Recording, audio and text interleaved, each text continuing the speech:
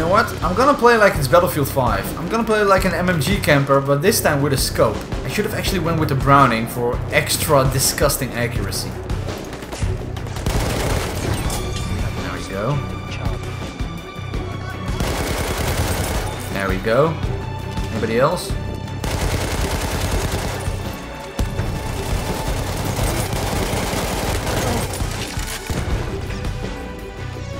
I'm dead. Well, we have the uh, MG 1917 telescope, so it doesn't get much more disgusting than this, as you can probably tell.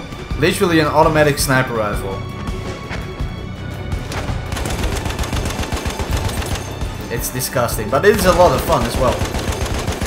If you can actually hit your enemies, that is. Bro, how do these people make it out alive?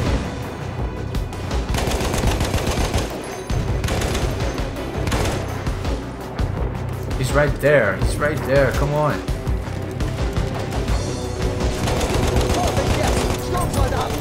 Can I get multiple kills, please? I'm just gonna hold down the trigger.